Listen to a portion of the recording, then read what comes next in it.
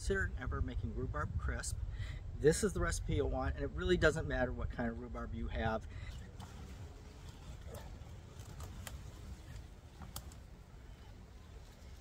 Now the ones that I've just collected, um, you know, they're pretty small. They're, they're not even as big as my little pinky here, or as my uh, little finger. So these are some bigger stalks, you can see. This is about as big as these get. As you can see, it's about as uh, big as my thumb. A little bit bigger. I'm cutting off all the tops.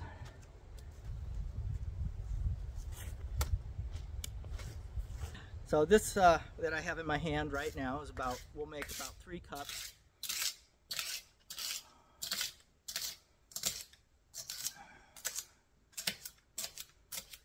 Okay. Boo Boo, looks like you found a piece of rhubarb. What do you think?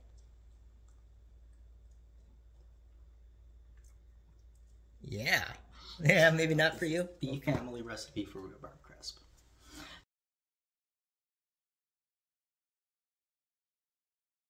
This recipe, I use the 9x12 Pyrex glass.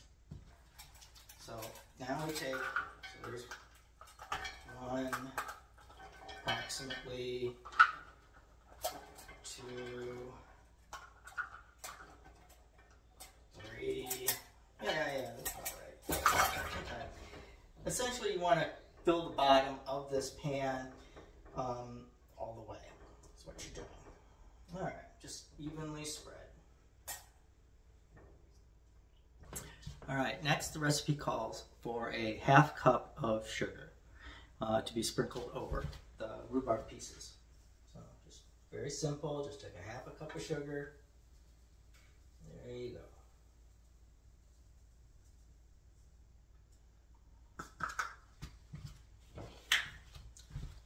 Next, the recipe says to dot with butter. How much was that?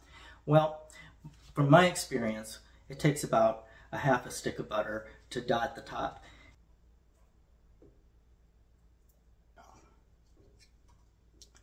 So you want to use about a half a stick or more.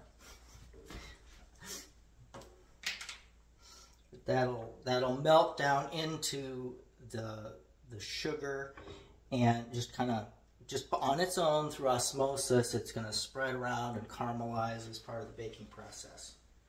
Okay. Here's the part where we do the crisp part of the rhubarb crisp. There is a little trick um, having mostly to do with the mixing. But otherwise the recipe, recipe is very straightforward. In a bowl, one cup of sugar,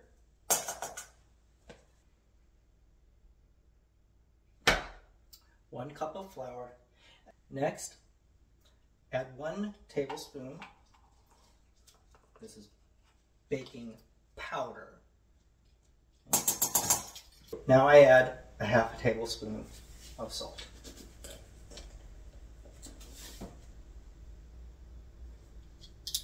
Next, the recipe says, make a well and beat one egg with fork. Okay. All right, so now we have all the dry ingredients.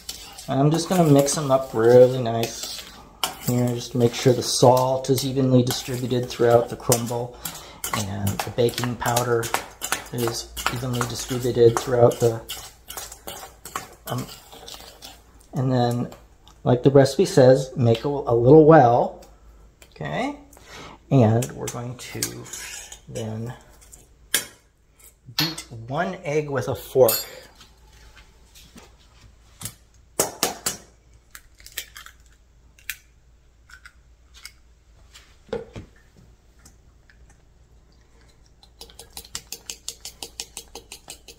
Yeah, here I'm just kind of beating the egg, just making sure it's a nice mixture. But okay, so here's the trick, all right? As you can see, the proportion of wet ingredients to dry ingredients is, is very heavy in dry ingredients. So in order for this to make a crisp, you gotta make sure that you're cutting in to that egg so that you get as many little pieces. So you wanna, you want that to be a good crumble. You don't want it to be just like a part with egg and a part a bunch of like loose flour. So use the side of the fork and just keep cutting that in. All right. Takes a while, okay? But you don't want a big gluteny mass. What you want are a lot of little spätzle-sized piece, pieces of, of dough that have been coated with flour and sugar. Okay, so that's what we're looking for. So now you can see it's not totally mixed, right? So you have a gluteny mass here, and you have a lot of dry. So the point is you want to mix a lot. You want to cut that in, and just keep cutting that in until until you have a really good strong crumble.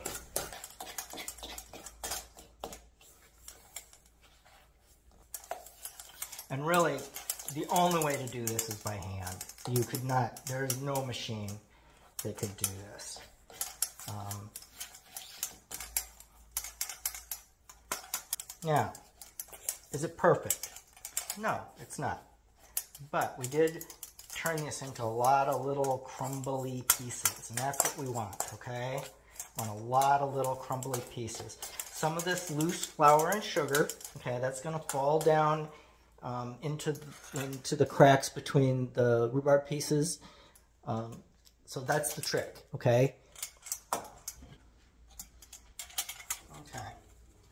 So now just spread the crumbles evenly across the top, okay? You can see some of it's just loose, but you know, you want to make sure that these crumbles are, are small, they're not big chunks that are gonna, you know, turn into poofs of, of gluten. Okay? You want crisp. So I'm gonna break up some of these that are still even stuck together, right? It's kind of like, all right.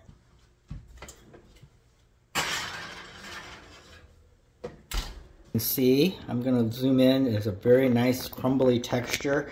A little pinkish, and actually I could put it in a little bit longer, I think. I, I actually think I had it in 40 minutes for the first timer, so I'm gonna put it in for another five minutes, but um, otherwise this is, this is ready to eat. And now we're ready to eat, and this is um, a, basically a serving suggestion with um, the rhubarb crisp served with vanilla ice cream. It's my favorite way. Bon appetit.